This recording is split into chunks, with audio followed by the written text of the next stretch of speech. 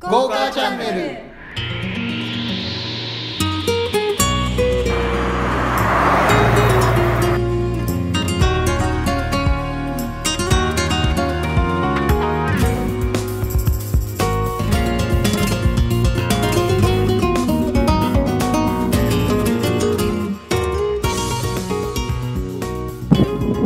ゴーカーチャンネルをご覧いただきありがとうございますありがとうございます。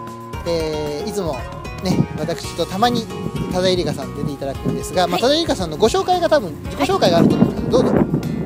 沢尻エリカ、戸田エリカ、日本三大エリカの一人、多田エリカと申します。よろしくお願いします。マイクを通り抜けしていかれると。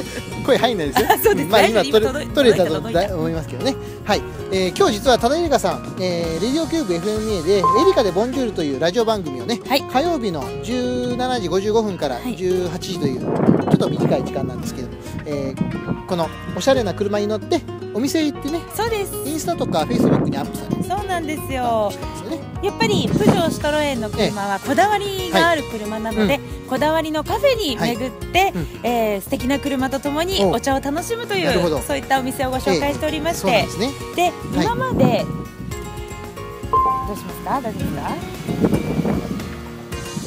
あ、キムさん。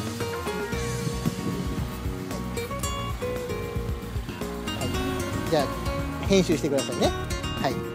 で今まで、はい。プジョー208が2回、うん。DS3 がそれぞれ2は回乗ってきたんですけれども、この度5代目ボンジュール号に就任したのがこちらです。大丈夫ですよ。大丈夫ですよ。大丈夫ですよ。え ちらが、はい。シトロエン C3 そうですね。C3 です。はい、社員です、えはい。それもガラスルーフ付きそうなんです。よ、ええ。お天道様も受けられますよ。冬はねすごく暖かいですからこれすごくいいと思います。はい。でまあ私はもうこの車の試乗のレポートはお送りしましたので多田絵里香さんがちょっと今合間の時間ですからちょっと短い時間ですけれども多田絵里香さんに乗っていただいてどういうフィーリングをお持たれるかっていうのをちょっと簡単にレポートしたいと思います、今日は特別編です、えーじゃあ今から行きましょうかね。はい、はい、よろしくお願いします。お願いしはます いいな。はいはい。多田さん。はい。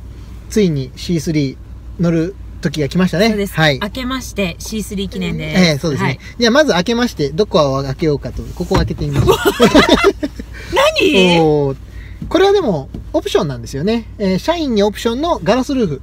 パノラミックガラスルーフ。すごい。何？これ手動で開けるの？これは手動です。あ、じゃ電動車もあるけど、うん。これしいいうん、でもね逆に言うと半分ぐらいなら開くでしょ。はい。わかんないけど これ届かない。え、いいね、いいね。いいでしょ？あじゃあちょっとせっかく、これでも開けると撮影無理。うんこれの方が綺麗に映ると思うあ、へえ、す開けていきましょうごい。じゃあ行きましょう。行きましょうスカイルーフですはい。はいインテリアはまあもうすでにゴーカーチャンネルではご紹介しましたけどねこんな赤いアクセントが入ってます赤です。これシートも最高これ。このラインとねかステッチとかさ。いい感じですよねで座り心地もいいのすごい。うんうんうんめちゃめちゃねいい腰が安定しあますわ。本当ですか？腰が痛いの奥さん。だけど、うん。やっぱねいいいですね。いいですね。ホールドしてくれてる感じうん、いやが、やっぱこのシートね僕僕もいいと思ね、ううん。じゃあちょっと乗ってみましょうか、はい。ただ時間が11時から餅つき大会があるのでね。ちょっとの時間しか乗れません。そうイベント中ですからね、はい。本日実は。忙しいんです。はじゃあ行きますよ。はい。乗ってください。はい。あー滑らか。どうやって行くんですかこれ？あ左曲がってください、はい。うんうわ滑らかですね。いいでしょ？あのー今日差しが入っちゃうね。基本的にこれって、はい。私が乗っていた、はいはいはい。えっと DS3、うんそしてプジョー208、同じです？そうですね。エンジンは1.2リッターのターボと日本のアイシン製の6速オートマチックトランスミッションの組み合わせ、なんだろうね。全然乗り味が違う、うん。ふあうん高級車ばりの落ち着きがありますよ。今実はシトロエンは、うん。シトロエンアドバンストコンフォートって難しいこと言うんですけどね、うんやっぱり快適性を第一にやりましょうというようなことで、うんえーそういうのを設計コンセプトにしてるんですね。これ左行きましょうか。そうね。うん。でそいつもの市場ルート？だとちょっと帰ってこれないといけないのでちょっと短めに行きたいと思います。ちょっとこの音聞こえるかな、うん。ああ方向指示器の音ね。か これプジョーと違います？全然違う。あ本当。何気に私、はい。えっ、と DS2 台プはいジョー2台乗りましたけど、シトロエン初めてです。あそうあそっかそっか、はい。これ右行きましょう。だからあ右ね。あごめんごめんね、うんうん。いやほらかわいい音。あいきなりやっぱ女性の方って面白いですよね、うん。そういうところにこう意識がいくのかな。あそうですね,、ね。インテリアとか、はやっぱり可愛い音ね。がするとか、大事かも。そうか DS3 は2台乗られて、はい。プジョーも208は2台乗られたけど、シトロエンは初めてか。そそんな中でねこの C3 新型話題の C3 はい。あるのは乗れるのはいいですね。嬉しい。でここにコネクティッドカムっていうのがあって、はいはい。今ピッてしてもう今これ写真撮れたんですよ。実は前の写真。本当に、うん。そっちにカメラがつい向いてついてるんですけどね。でこれを iPhone と、うん。w i f i でやり取りをしますと今の写真がスマホで見られるという機能がついてます。あって言ってましたもんね。そうそうそうそう。すごいな。その機能をつけてるところがちょっと面白いですよね,、遊び心だね。そう足回りがしなやかでしょ？柔らかいでしょ？しなやか。いやあの乗る前にうん。担当の方から、うん。気持ちいい乗り味ですよって言ってもらってたんですよ。本当。全然違う。じゃあこの信号左行きましょうか、はい。208のプジョーももちろん DS3 も良かったんだけど、うんうんはあ一番好きかな。乗りやすいな。あーもうすでにこんな短距離でそんなに感じちゃううん気持ちいい。長距離乗るのが楽しみになるでしょ？ああそうですうんねねえ。結構高速乗りますのでね。あそうですか。ちょっとなんか街の視線がある？ちょっと感じますね。まあそうかもしれないですね、うん。まだあんま街もたくさん走ってないし、うんとてもこうデザインもねかなり個性的ですから、うん。そのあたりは注目度高いと思いますそうですね。よねいやー乗ってるとこう テンションがね上がりますか？上がりますね。ああそれは何よりでございますね。うん。で、えーこの後はどうしようかな。あと何？まあ安全システムがねいろいろついてるんですけれども、うん。えー今出てないかな。標識がないかな速度標識を読んでですね、はい。えーここの道路は最高速度何キロですよっていうのが出るんですけどまだ出てないですね。出てないですね。ないですねそれは嬉しいですねそれも出ます。高級車みたいなはい。で、斜め後方の視覚を教えてくれる、えーアクティブ、うんえーじゃあブラインドスポットモニターっていうドアミラーの、こう、わかりますかね、はいわかりますドアミラーのところにマークがあるんですが、ねカメラさんではちょっと見えないかもしれませんけど、えー斜め後方に車が来ると、うんおーそこは光ります。で、今、はい車線変更すると危ないですよ。これ左行きましょう。はーいそう、餅つきのね、話をしなきゃダメなんで。えーちょちょっと短距離コースでね。車屋さんですけどうんも、落ち着きも重要ですからそうですね。重要ファクターですから、はい。音静かですね。ですね。3気筒のエンジンなんだけど振動も本当ないしね。ああの振動のなさで言えば、うん。DS3 もプジョー208うん。も全くそういうのそうですね。このエンジンは、はい。えーインターナショナルエンジンオブザイヤーっていう賞を1リッターから1.4リッター部門だったかな。2, 2年か3年連続で受賞しているとはい。いうふうに言われているんですね、はい。うん。ですからまああのーそんだけ評価の高いエンジンであるということは間違いないですね。そうですね。はい。い今カメラが全然映ってなかったごめんなさい。いいんですよ。難しいんです。話だけでもうん。ね。ただ今ねブレーキもかけたんですけど、うんうん。うんブレーキがより滑らかになってます。ああなるほどなるほど。ふんわりこうちょちょっと押さえるだけでゆるーくきちんと止まってくれるんで。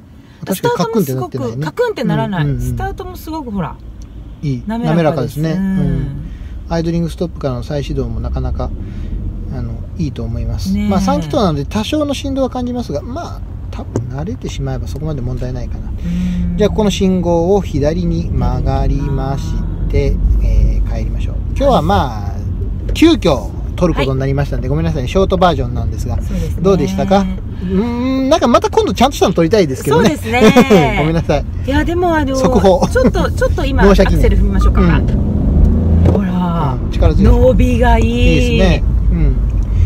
1.2リッターとは思えない。思えない、まあこれはもう言い尽くしましたけど、ね、ここから入ってくださいね。コンパクトカーなんだけど、うんうんうんでちょっとやっぱりね、うん。あこの車遅いんじゃないの？みたいはいなオーラをこう感じるんですけど、うん伸びる んですよ。伸びますい。いんねですよ。高速ね。ほんとキビキビやるんですよ、この子たち。そうですね。高速道路は本当疲れにくいと思います、はいまた教えてください。多田さんあの、はい。高速道路何回も乗りますでしょ？この車で。ね今後ね、うん。えー。この車多分高速道路いいと思うな。ステアリングすごい軽いでしょ？軽い。そう、うん。あそうそう。ステアリングがすごい操作しやすい、あのプジョーとかはね、うん。ちょっと重めなんですよね、はいはい。うん。あーいいね。乗り越えた時の乗り味もいいですもんね。この坂登るところもすごい楽、あ本当。うんなんか頑張らなくていい、あいいですねこれどうしましょうね、うん。どこに元あったところに止めてみましょう。で実はこの車バックカメラがついてますから多ええ分バックカメラついてるの見たことないですよね。あどっかで撮影しなきゃいけないですよね？あいいですよ。大丈夫ですよ。大丈夫ですか、うん。あバックビバックええもうね撮ろうと思ったんですが、うん。持ち行かなきゃダメなので先そっちやりましょあ本当だ。うねただカメラばっか気にしちゃダメですよ。ちゃんと、ね。あのー目視もしながらやるようにしてください、はい。あれなんかずれてる、うん。はいはい。私バックカメラついてる車乗るの初めて初めてあー。まあまあそそればっか見ちゃダメちゃんとミラーと全部いろいろ見ながらやってください、でちゃんとあでもうまく止まったんですねじゃないですか？いい感じに止まりますね。あーはい。あごめんなさい。は、はい。いでセンサーもちゃんとついてると。こういうわけでした。はい、はい。素晴らしい。ありがとうございましよかったよかった。いやー乗りやすいです、すごくでまた今後のねいろんなそういうお話はラジオですとか、はい。多田絵里香さんのフェイスブックはい。でご紹介いただくと思いますので、はい。どうもお疲れ様でした、はい。でこれからまたややりましょうね。ね。はい、はい。今から放送頑張ってきます。はい。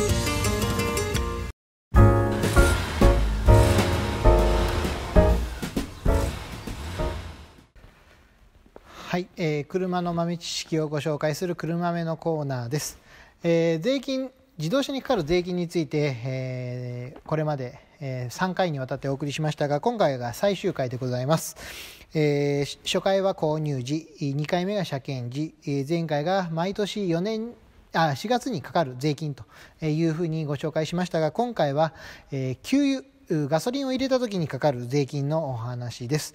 で、まあ、実はこのガソリンっていうのはかなり税金が載せられているものでございましてまずガソリン税というものがございます。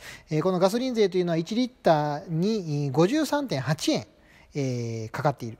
ものなんですねでその内訳を言いますと揮発油税というものと、え地方揮発油税というえーなんかこうだんだん難しくなってくるんですが揮発油税というのは国税で地方揮発油税というのは国税なんですが各地方に贈与するというものなんだそうです。でそれからあ、まあ、これはあまりメジャーではないとは思うんですけれども液化石油ガスにかかる石油ガス税というのが、えー1リッターあたり17.5円かかるというこれも国税でございますね。でまあ、最近ディーゼルエンジンの車が増えました、えー軽油これには軽油引き取り税というものがございまして1リッターあたり32.1円、かかってまいります、えーこれも地方税ということで、えーこれは軽油にかかってくる税金です。ですからまあ、えー実際そのガソリンスタンド行きますとレギュラー廃屋軽油ってあってですね、えー軽油が安いわけなんですが、まあ、こういう税金の面から見ても、えー軽油っていうのは優遇されているというのがお分かりいただけると思います。さらに消費税がかかってくると、えーいうことで、えー実は結構ガソリンには税金がかかってるんですね、えーまあまあ、あのー車っていうのは走ってなんぼですから、まあえー石油をケチって燃費のことばっかり言うのはあ嫌なんですけれどももうちょっとこう税金負担が軽くなるとより皆さんも車あカーライフを楽しんでいただくことができるのではないかなというふうに感じます。